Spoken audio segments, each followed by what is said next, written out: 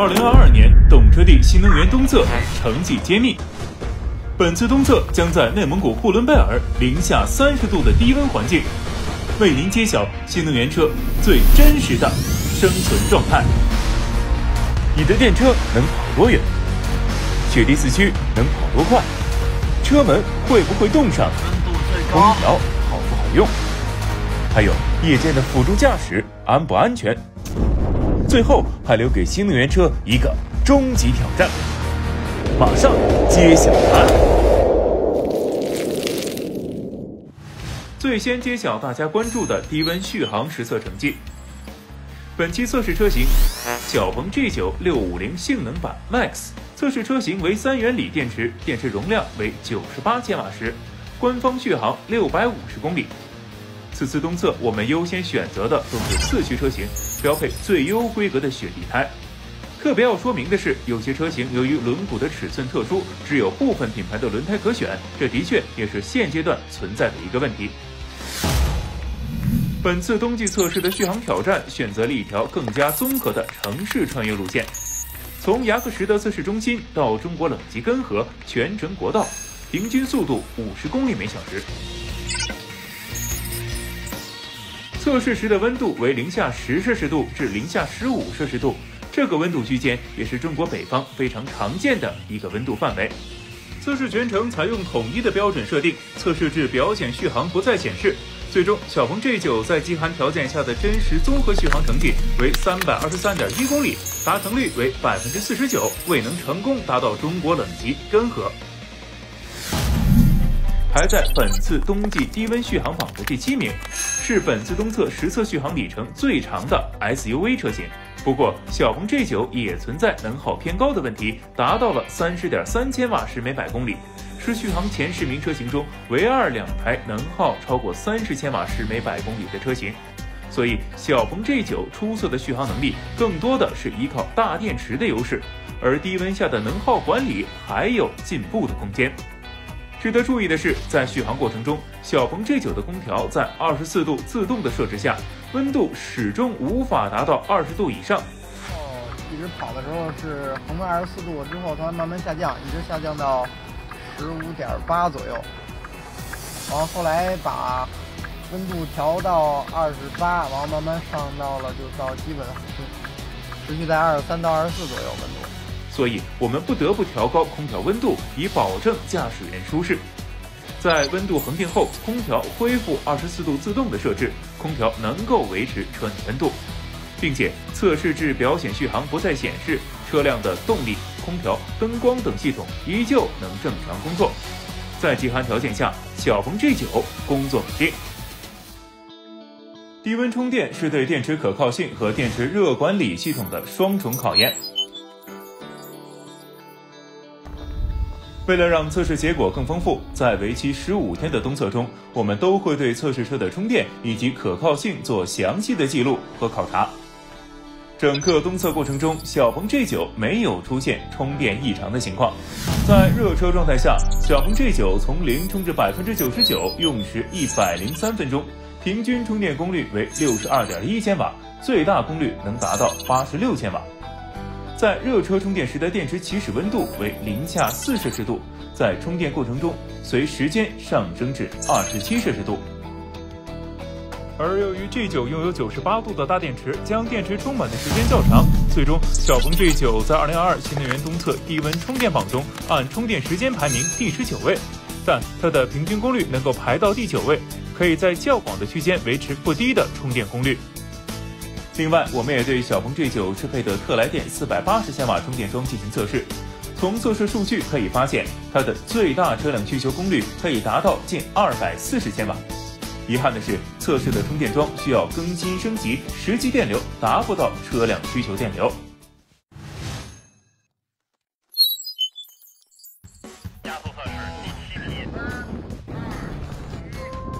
电动车虽然有动力优势，但在低附着力的冰雪路面上，能对动力做到精准控制，起步才能又快又稳。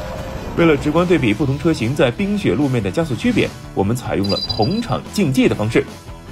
测试前，所有车型统一调整为加速最快的驾驶模式，开启电子稳定系统。在加速竞赛中，小鹏 G9 完成百公里加速用时九点一五秒，在本组中排名第二。小鹏 G9 比奥迪 Q7 大了两百多马力，但加速时间只领先了零点六秒。这支曲线可以反映出问题的原因。两车的加速度基本重合，只是到了加速后段，G9 的大马力优势才体现出来。可见，在冰雪路面上，为了安全，电子稳定系统刻意限制了动力输出，实际马力也就只有 2.0T 的水平。小鹏 G9 的成绩放在2022动车帝新能源东侧加速测试大榜单中排名第二十一，而 SUV 组别的平均成绩是9.61秒。小鹏 G9 的冰雪加速表现略好于平均水平。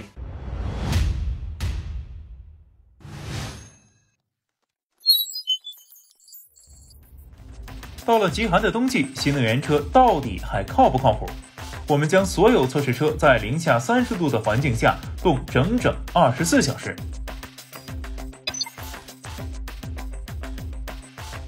为了增加测试难度，我们还让造雪机模拟了一场大雪。经过一整夜的静置，我们发现百分之九十七的车都能正常启动。小鹏 G9 同样没问题，可以正常启动，没有任何故障。此次测试的四十台新能源车中，百分之九十三都拥有远程控制功能。通过手机 APP，你能让 G9 快速制热，并且打开座椅加热功能，这让冬季出行更温暖了。接下来揭晓大家最关心的问题：空调到底热不热？所有测试车统一标准，小鹏 G9 的结果不太好。十五分钟后，G9 的车内温度只有十一点五摄氏度。在新能源车中排名非常靠后，不少等着水温上升才有热风的燃油车表现都要好于小鹏 G9。而在除霜除雾测试中，我们开启最强除霜功能，十二分钟时间，雪和霜仍然很多，日常使用需要更长的除霜时间才能确保安全行驶。最后，我们还收集了用户关心的十个新能源车冬季可靠性问题进行检查。在我们日常行驶过程中，由于小鹏 G9 格栅出现积雪，导致主动格栅异常提示，不影响驾驶。积雪融化后，这条提示也随之消失。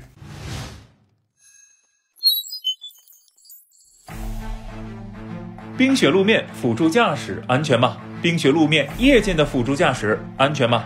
冰雪加下雪加夜间的辅助驾驶安全吗？接下来，我们要对十六台有代表性的车型进行冰雪条件的辅助驾驶识别能力测试。三个测试难度递增。现在，我们来揭晓小鹏 G9 的辅助驾驶安全表现。第一轮日间雪地 ACC 对静态假车测试。经过一百米标志牌，小鹏 G9 发现了前方假车，随即开始制动。整个过程制动力释放均匀，成功停在了假车面前。测试成功，成功晋级。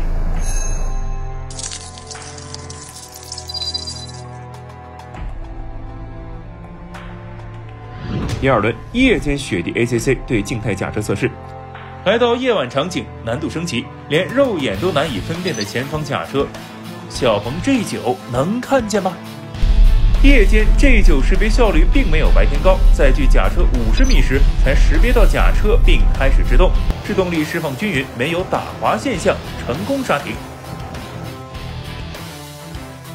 第二轮就已经不剩下几台车了，小鹏 G9 凭借在最后时刻识别，让它成功避免了碰撞。第三轮夜间雪地扬雪 ACC 对静态假车测试。我们采用扬雪机来模拟暴雪，难度再次升级。极端天气，根据我国交通法对机动车行驶速度的规定，我们将车速限定到四十公里每小时。搭载双激光雷达的 G9 能否物理看车呢？经过五十米的标志牌，G9 还没有任何反应。就当我们认为 G9 要失败了的时候，一脚制动给了我们惊喜。最终，小鹏 G9 成功识别雪中的假车，避免了碰撞。由于以上表现，小鹏 G9 跻身东侧辅助驾驶测试前三名，但由于识别时机较特斯拉 Model Y 几乎阿尔法 S 稍晚，故位列第三名。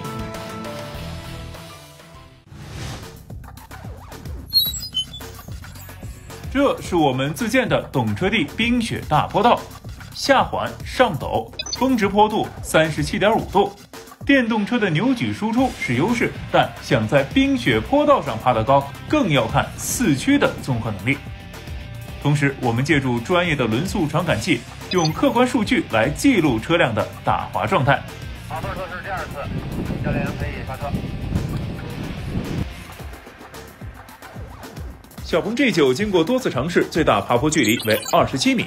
在爬坡过程中，电子稳定系统一旦检测到打滑，会比较明显的限制动力，体现到轮速曲线上就是曲线波动大。测试过程中，小鹏 G9 车身稳定性良好，控车难度不大。小鹏 G9 的成绩放在2022懂车帝新能源东侧冰雪爬坡大榜单中排名第六，SUV 组别平均成绩为二十七米。